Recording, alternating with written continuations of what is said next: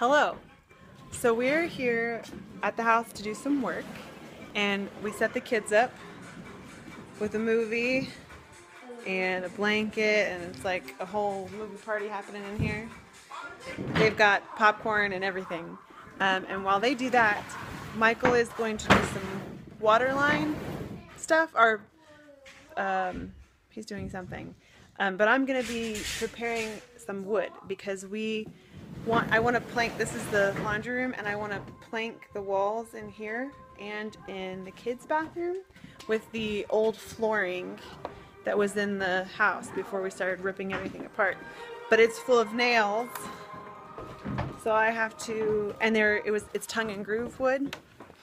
So I have to use the grinder um, rather than trying to pry all the wood, or I'm sorry, all the nails out of the wood.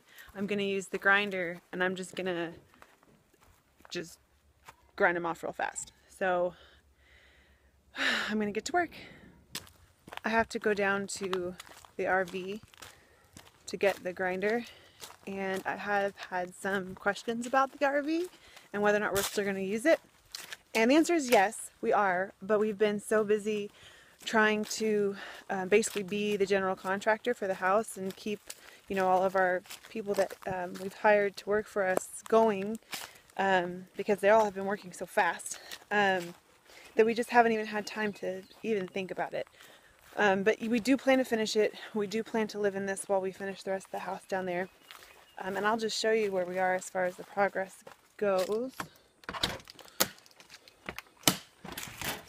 It's looking really good. We've got all of the um, walls covered and all of the electric is run. And then we have, this is the kids bunk over here. And then we have a, a shower situation happening here. We don't have the rest of the partitions up in the walls, but there'll be, you know, a wall, a wall here in between the bathroom space and the rest of it.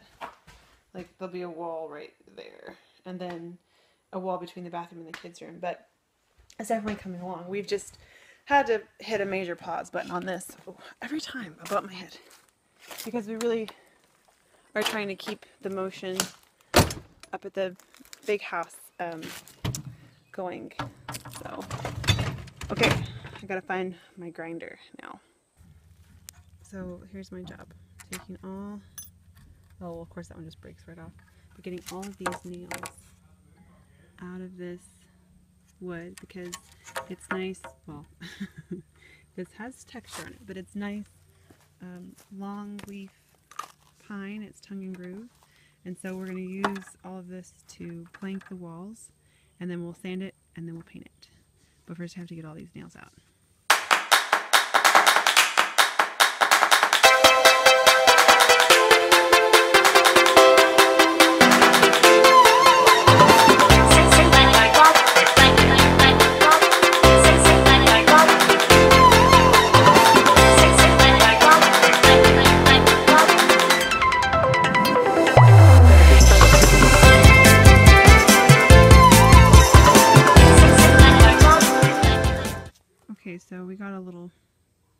Stack done. This is pretty labor intensive. But I think it will make for a really cool texture on the wall when we put it up there. Uh, it's getting dark and the mosquitoes are starting to eat me alive. So I think we're going to head back. Good morning. I'm here with our paint. We bought 10 gallons and I'm going to paint a swatch on the wall to make sure that it's not a hideous color. So I'll show you in a minute. Okay, we've got a big nice color swatch on the wall. It's like a creamy white and Michael thinks that all whites are the same. I disagree. So I chose, it's kind of a slightly warm toned, maybe a little bit gray white. Can you see it? No, just looks like white on the house. I think it'll work. Other happenings in the house, uh, plumbing. Um, I think this is a box that Michael has built to put the hot water heater on. And then, I don't know what else has happened here. Lots of plumbing stuff. I think all the venting pipes have been put in. And uh, the wastewater pipes, I think. I don't know, this is kind of the boring sort of part of this whole uh, process because it's not like the framing. The framing is like it goes up and you can see a huge difference. Like it's an obvious like big change because you have a whole structure. All the systems putting into place. I mean, it's not as uh, the wow factor isn't there. I guess we'll say, but it's still progress.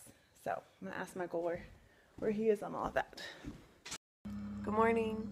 Uh, I am out on the back porch at mom and dad's, um, working on the whoops the electric placement final sheet to give to our electrician who's coming today and might already be there. So I kind of have to finish this up. But I I've never had to think through exactly where I would want every single plug to be. Like I know where I want all the lights. Um, but plugs I feel like I don't know are a little trickier because I know I need a bunch in the kitchen because we have undermount lighting and I want to hide the microwave in the pantry and then you know you need plugs in the kitchen for kitchen things. But like where else where all on the walls do people put plugs? So I'm thinking through that this morning and I have not had nearly enough coffee.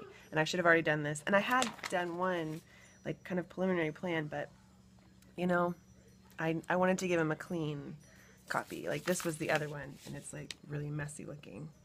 So is this better? See, it's just got scribbles all over it now. So I wanted to give him a nice clean copy with just the electric stuff written down on it. So that's what I'm doing this morning. And then I think tomorrow the painters come and that is exciting too because it makes a big change and the sun is just killing things and what I wanted to do in our kitchen. So I had planned to have three um, wall-mounted sconces over here above the um, sink. I have to change but, um, see this big header kind of means I can't do that if you can't really see me. So um, instead we have to do a pendant light um, above the sink, centered here in the sink. Uh, the sink is centered right here in the window. So a pendant light is going to have to come down right in the middle of that. So um, I wanted to come and make sure that the ones I was looking at would it be good in the space. I'm really visual. I'm a very visual, tactile person, so I kind of have to like be in the space and look at it and walk around in it. And so because I'm changing what I was going to do over the window, it also kind of changes what I was going to do above the table. So our table is centered in the middle of the peak, right there.